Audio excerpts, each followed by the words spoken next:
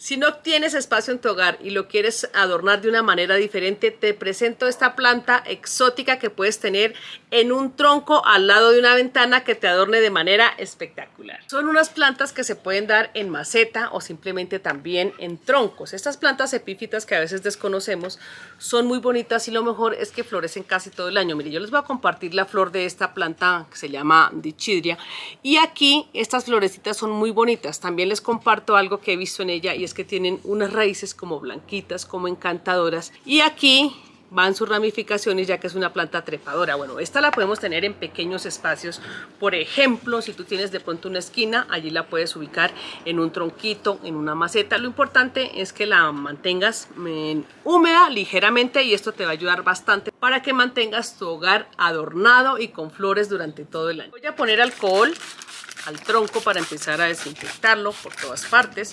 Ustedes pueden armar el tronquito como quieran, por ejemplo acá le pueden hacer un caminito como yo le hice o simplemente lo pueden plantar en esta partecita como quieran. Acá por ejemplo yo le hice esto, ¿por qué? Porque aquí voy a empezar a colocarle este musgo, esta cascarilla de coco para hacerle como una especie de camita, ya que esta planta es una planta epífita que a veces la desconocemos y no la conseguimos digamos muy fácil en el mercado pero ahora les comparto que ya es facilita de conseguir lo mejor de estas son miren las hojas de ella son como una bolsita, también le llaman la planta canguro y lo mejor es que esta florece durante todo el año. Es una planta que podemos tener en, en nuestros hogares para que nos adorne de una manera muy bonita.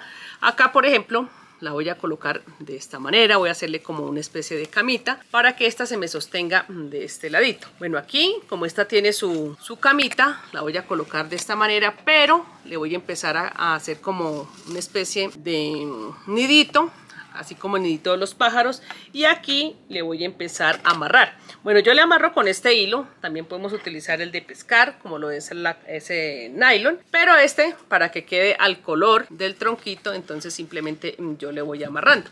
Bueno acá le hago como una especie de, de nudo falso y acá la empiezo también a amarrar como si amarráramos una orquídea. Como ya la tengo fija en este lado, entonces aquí voy a colocar la otra. Bueno, esta la podemos utilizar también como planta colgante. Esta es una planta que ella se deja manipular y son como unos cordoncitos, es una, es una planta trepadora de porte rastrero si la quieres colocar allí y acá ella se va a empezar a adherir a nuestro árbol, a nuestro tronco ya que es una planta epífita. Bueno, lo encantador de esta planta es que no es muy común, estas son las flores las hojas, como ya te lo comentaba anteriormente. Y les comparto también que es muy fácil de mantener. Simplemente la mantienes ligeramente hidratada como una orquídea. La puedes colocar en un tronquito o simplemente como planta colgante. Y te va a quedar de una manera muy bonita para adornar tu hogar. También les comparto que esta no necesita mucho sol. Simplemente en un lugar donde tenga, digamos, luz filtrada. Y allí, cuando tú notes que tiene demasiada luz, ella te lo va a avisar en las hojas. ¿Qué pasa? Ella se va a empezar a, como opacar las hojas y allí eh, te vas a dar cuenta que tiene mucha iluminación. Entonces simplemente la pasas a un lugar de semi sombra y también le puedes proporcionar abonos. ¿Cuál es el abono que necesita ella? Abonos como el té de papa, el té de plátano, que cómo se hace el té de papa, el té de plátano, por cada cáscara de banana o de plátano vas a hacer un litro de té o también con solo una papa, una banana, otro litro de agua. Lo puedes utilizar cada vez que la riegue ya que estos son abonos orgánicos que no le hacen daño a la planta y de esta manera tu planta te va a adornar el hogar manteniendo la floración durante todo el año.